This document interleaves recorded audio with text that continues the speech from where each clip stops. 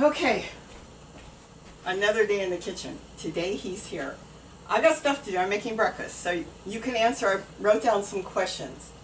Somebody wanted to know about termites, in there in South in North Carolina.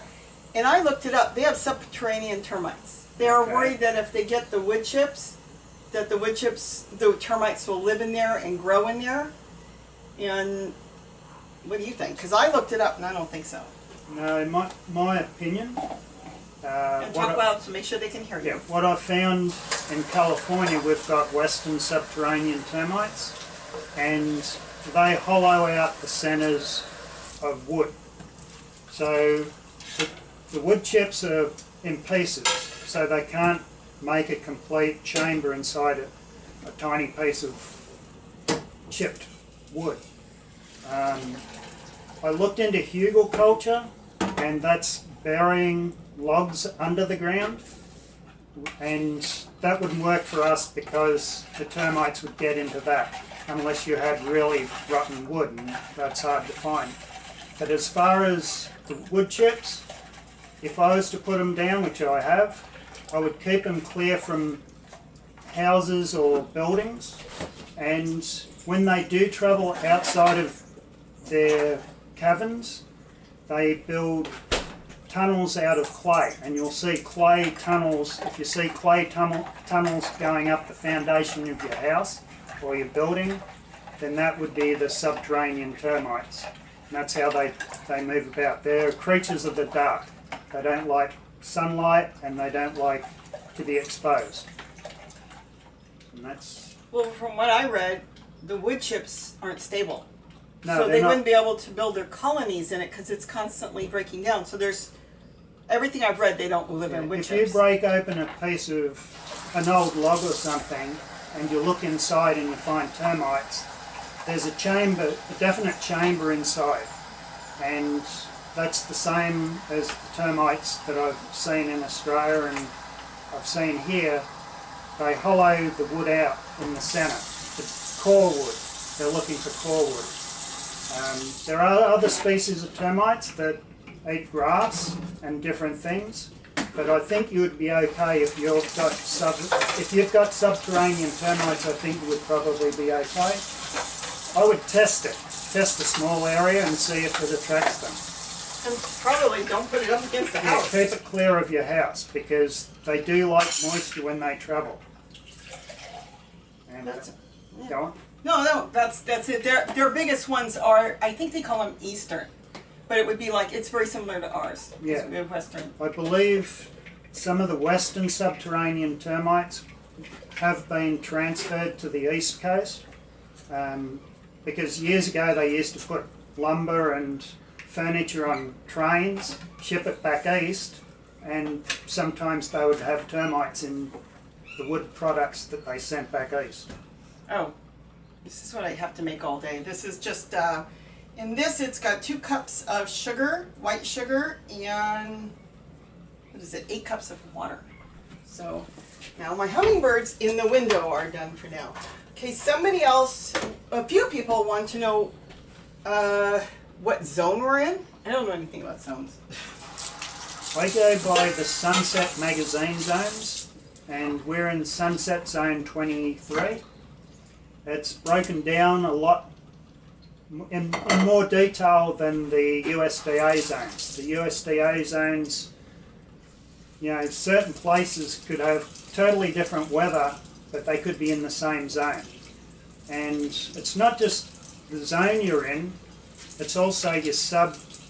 Um, what do you call it? Your sub, uh, not sub, your microclimate, because we don't get a frost here.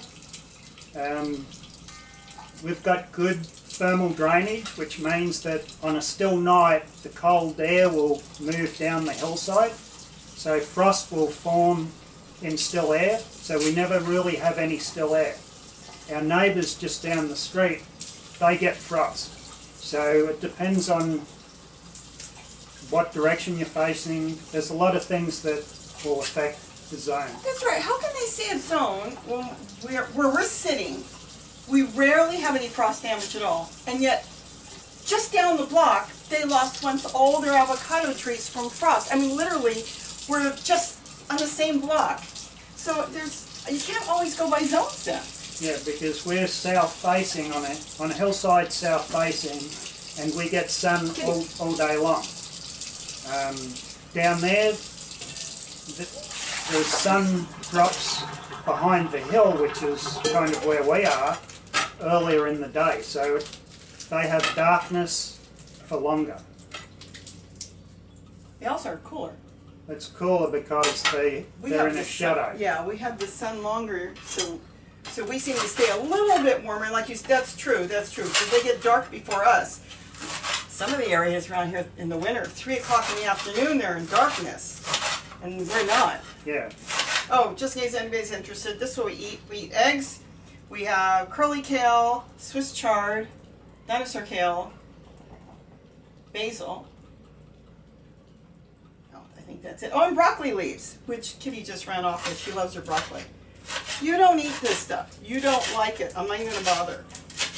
So, and then we, I have to make everything in lots because the dogs are expecting breakfast. And so I have to take the onions, I have to take the onions and put them in separate because dogs can't have onions. So I chop up the onions and then they go in afterwards, so this way they get the same thing we get without the onions. Oh, I keep cups like this all the time on my sink in case I want to collect seeds, something I've uh, opened up and it's full of seeds. I have something right here quickly to throw the seeds in, and then when I get tired of them, it didn't cost me anything, I throw them away. Talking, see, we can't do that. I threw the onions in. Okay, multitasking isn't always that good. Okay, onions cannot go in there. We know that. We know that. All right. Um, the hibiscus tea, I looked that up. Somebody asked me if they can do, like I do the mint tea, hibiscus. And the whole plant on hibiscus is edible. It's just taste. I don't know how good it would taste. See, that's the thing I, I don't know. Yeah, the, But I mean, it can be done. Yeah, the main one that's grown in Australia for tea or for jelly or jam is ro- roselle. In Australia, it's called rosella, and that is a, a good one to grow. There's also our friend Craig has false roselle, and that you can use for tea. Um, we, we don't have any of it. Maybe one day. I, I actually think it's a cool plant to have. We just have the regular flowering hibiscus. What does it taste like? Move, guys. I mean, what's, I don't know. I've don't never know. had it, so what does it taste like? I use Himalayan pink salt. I get that over at Sprouts bulk, so it doesn't cost that much. I do my own thing. So, have you had hibiscus tea? Because I have not. No. I haven't. I just have the mint. I prefer the chocolate mint. You like the spearmint. Yeah, You drink it all. I drink it all. I'm... I don't like the orange mint. I don't know why. It smells like oranges. It to me does not taste like oranges. So I mean maybe that's what it is. It smells different. The chocolate smells good. So you're drinking it and it smells like chocolate and with the mint and then it tastes almost like that too. Um, spearmint I don't like. yeah, I like spearmint. Peppermint's good. I like spearmint because I believe that's what I grew up with. We made mint sauce, which was used on lamb. You know, roasts, Sunday roasts and things. Um, I didn't grow up with that yeah, that was that was something that we always had in Australia. in Australia. Yeah. No, I never. My lamb was broiled and salted. we didn't have a lot of lamb roast here. I didn't grow up that way. What else did, did people ask? Oh, they want to know why you're not selling your produce. Well, right now we're not produ- we're not overproducing. If it'd be nice to overproduce something and then take it to a farmer's market and find someone that would be interested in buying it from us. I saved the lid, so I can do the same thing. I can save stuff when I get tired of it and throw it away. It's just the idea of sitting down and or being at a farmer's market all day and selling and dealing with customers when there's so many things to do here. He's not going to sit and all day and deal with people. He'd rather sit in his wood chips and see nobody except for him and his bugs and his dogs. Okay, now the dogs will have some, and there is no onions in there. Now I can add in the onions. This way they get something. They don't need this. They've already had their breakfast, but they always have to feel that they've gotten something. Now I can add in the onions. This is what we eat every day, pretty much every day. Uh, let's see, coconut oil. My daughter's really big in coconut oil. She buys it like that lady does by the gallon. Um, you gotta be careful with that. I've done a lot of research on that, and though coconut oil is good, it depends on how much you're using. You can overuse it, it's still an oil. I'm not saying it's bad or anything like that, but I would prefer the mint. First of all, the, the mint is like a green drink. And you're getting more of a vegetable, and it seems to be working from the inside out. Oil will make your skin oily, which could be good, and it has a lot of good things, but mint's got so many vitamins and everything. Well, I'm not saying coconut oil is bad. Like I said, my daughter buys it by the gallon. She's using a lot. I use it, I put it in my coffee sometimes. I've used it for baking. You put it in your coffee sometimes. Yeah, occasionally I do. Yeah, but I still prefer, I think right now the mint tea is working, as long as that's working, that's good. Tilling. People are saying, oh, you shouldn't till, you shouldn't till. You know, you're tilling wood chips into the ground, you're pulling the nitrogen, you're ruining the soil. So you talk about tilling. Well, tilling, I'm trying to go away from tilling. I'd rather not till, and mostly I don't till. Um, to get the garden going in the beginning, I, I do dig and I till. But once I get things set up and I lay, lay the wood chips on top, I'll just scratch away an area and then plant in the ground and then move the wood chips back down. And that I learned from Paul Gautschi. Um,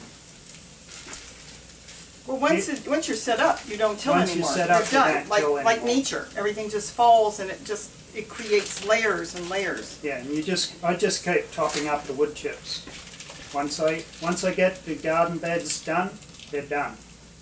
And tilling is a lot of extra work. If you enjoy doing it, I don't see why, why not, but you don't dig the wood chips in, into the soil.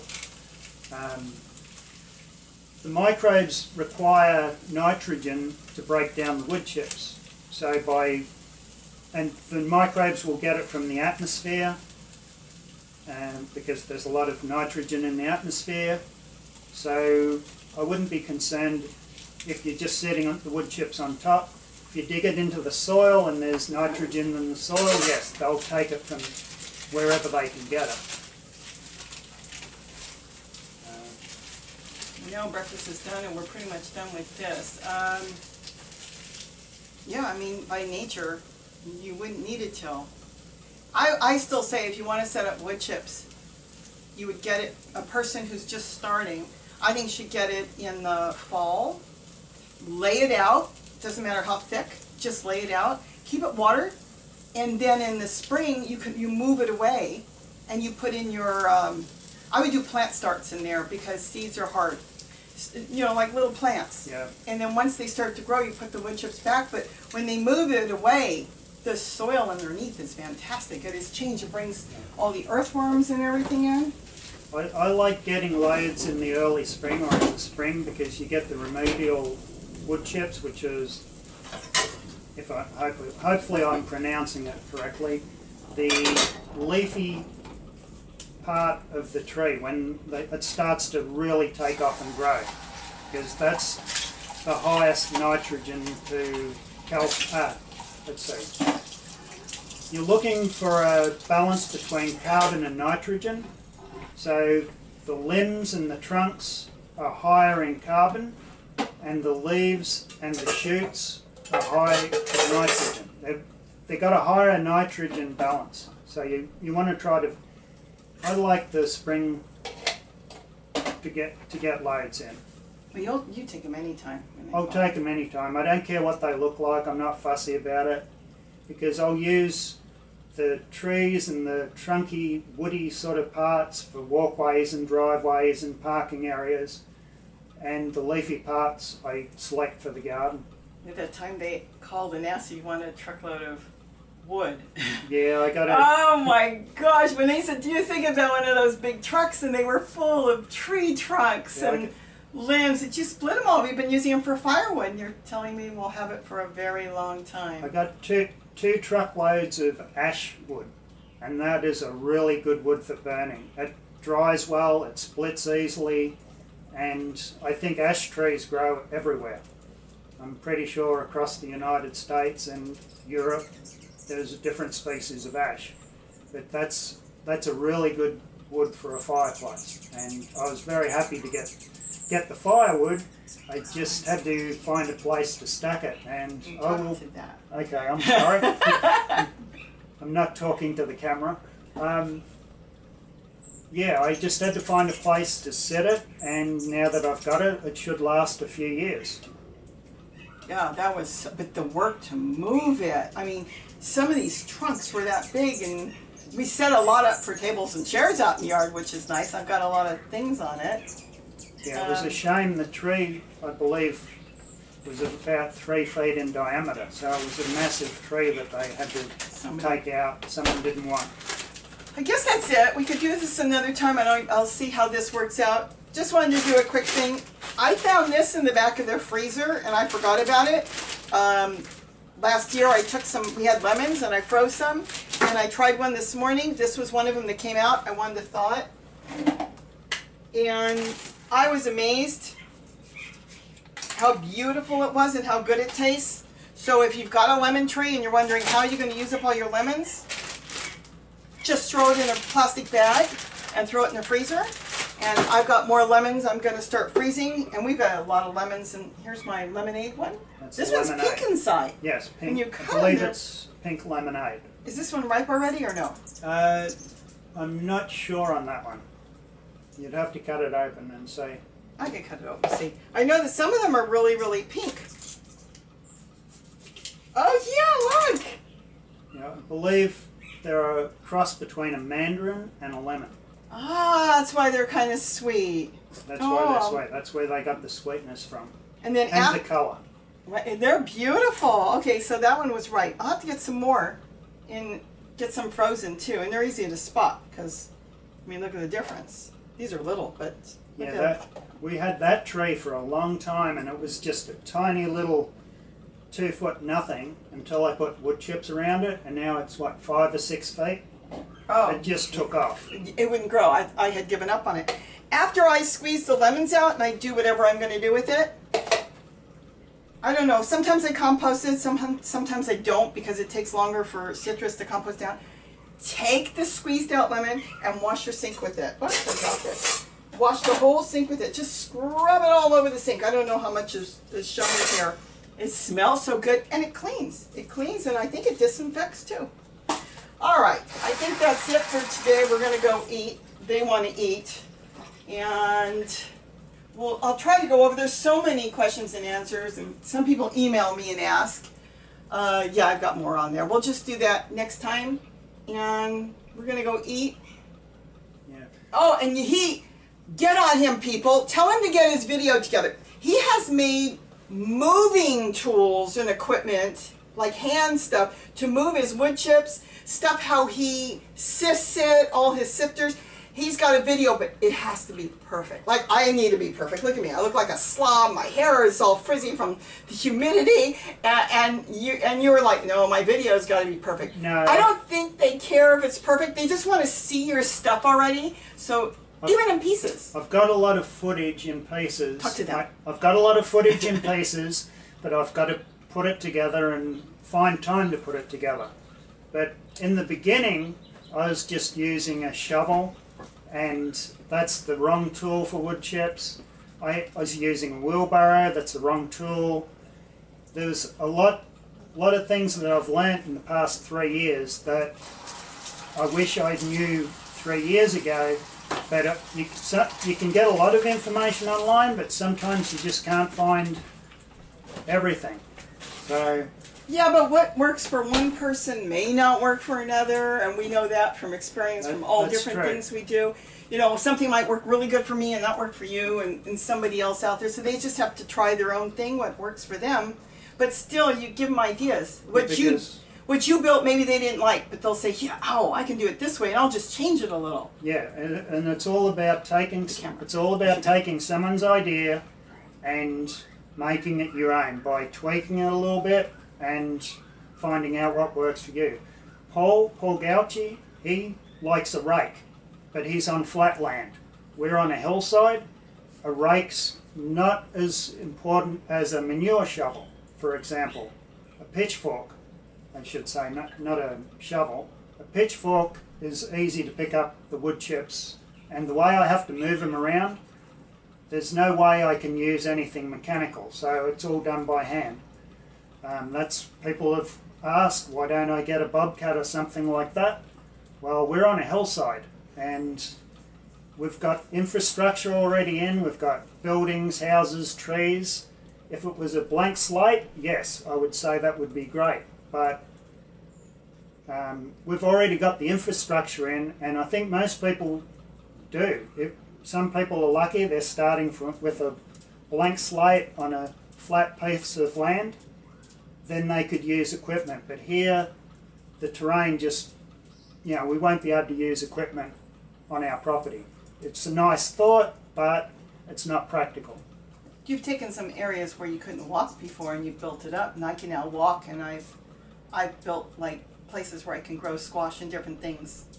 So that, that yeah, I've good. I've put wood chip trails on slopes that are probably thirty to forty five percent grade, and made them level so you can walk around the hillside now, and I can push my cart around it. I've made roads and different things that I can use my hand cart on. Yeah, he made a bigger hand cart. He used to have a little red wheelbarrow. He used to move everything around. Now you've got a bigger one. Yeah, and it's lightweight and wood chips are light. You don't need anything heavy. It's it's a quad. I, once I get my video together, you'll see what it is. A wheelbarrow is a trike. It's got three wheels and it can tip. This won't tip. I think we're good for today. We'll go eat. They're impatient. Are you impatient? You're looking at him now. Oh, is he going to give me something? Okay, I think that's it for today. I'm going to shut the camera off. We'll try this again another day. Move, guys. Have a great day and don't forget to eat what you grow. Wave goodbye. Bye.